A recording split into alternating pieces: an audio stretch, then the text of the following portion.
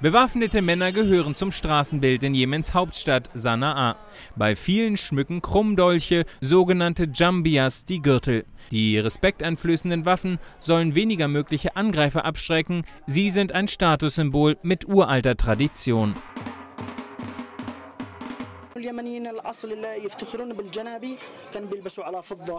Wir Jemeniten prahlen gern mit unseren Jambias. Wir tragen Dolche aus Silber oder Gold. Jambias haben Tradition, sie gehören zu unserer Kultur.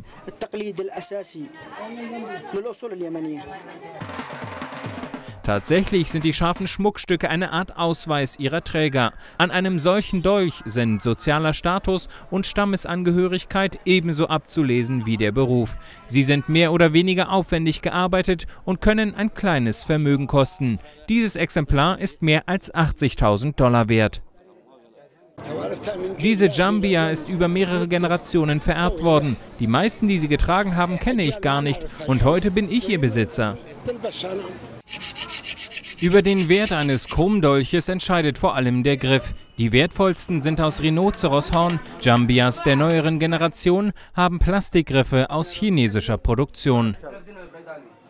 Rhinoceroshorn ist seit einiger Zeit verboten, weil Nashörner zu den bedrohten Arten zählen. Heutzutage sind die Jambias selbst vom Aussterben bedroht. Mit Plastikgriffen ist der Waffenschmuck nichts Besonderes mehr. Und immer mehr junge Leute können mit der alten Tradition nichts mehr anfangen. So fragen sich viele, ob die Jambia ihren Platz in der jemenitischen Gesellschaft behaupten kann.